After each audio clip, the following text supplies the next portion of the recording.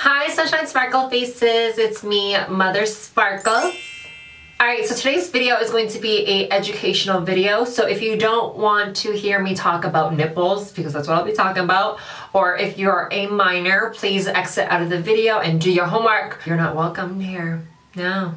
Hi, I'm Julie and I will be your test transgender human being and I'm going to talk about nipples, okay? Let's not be squeamish about this word. Let's be adults and mature people and kind of just discuss this openly because I think it is important for people out there who want to transition or are going through the process and want to know what they're getting themselves into. So first off, I'm just going to say that everyone is different, you know, genetics and genes and just everyone else different. Nobody grows the same.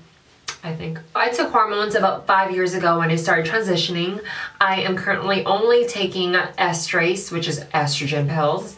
And the reason why is because I've had my sex change and I don't have a penis anymore. And that is why I don't take testosterone blockers anymore because I did this.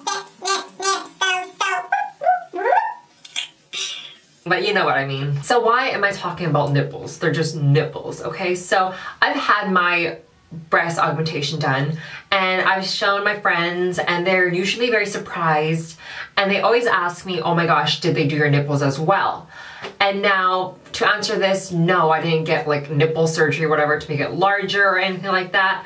When you take hormones, your nipples do grow in size with your breast. And so it does, it did grow um, I mean, I don't have like super big nipples. I actually don't know what a nipple is supposed to look like because I feel like it's one of those things where it's like different, right? There's people who have like large areolas and some don't, some darker than others. So it's just different how like every vagina is different. You know what I mean? So I, I, I don't know. Obviously I've seen a huge change in how it was before. Before I had like teeny, teeny, teeny little nipple, but now, you know, it's definitely grown in size. I can't believe I'm about to confess this, but I feel like it is important and people need to know. Kind of like a cool, weird fact that is kind of still a male characteristic. I don't know if this happens to females as well. Maybe it does. Maybe I'm just being stupid. But I think I'm pretty sure being stupid, but when I get cold, like my nipples do shrink and they become like really hard and smaller. And when I get aroused or warm, well not warm, not warm, sorry. For instance, if I just took my hormones for the day, I will start to feel it like expanding and like really growing in size and very, very sensitive. That's something I wanted to point out with you guys that it does change in size depending on the nature of whatever's happening. I am currently taking six milligrams of Estrace, which is the brand of estrogen pills, and I take that on a daily basis. My nipples are very sensitive to the touch. If I'm bumping into someone or bumping into something, I will feel it and I will feel a little bit of pain or a tingle. But overall, there's lots of sensation. And the reason why I didn't get breast augmentation right away when I first started transitioning is because your breasts need to develop. That is why I waited after two and a half years to get my breast augmentation. Um, they just needed to grow out.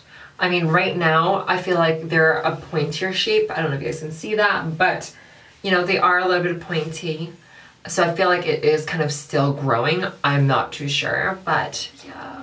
I noticed change within the first couple of months taking hormones that I was getting breast development and that my nipples felt like like it was hard and like something was budding, almost like a flower, almost like blooming, you know, the bud, and then it starts to expand to many other buds, and then that expanded more. So I think that would be my description of breast development on hormones. So for those who want to transition and have this question if your nipples will change with your breast growth, have no fear. Yes, it will grow. I'm not too sure depending on size, but I will say it will grow, uh, even if it's a teeny bit it will.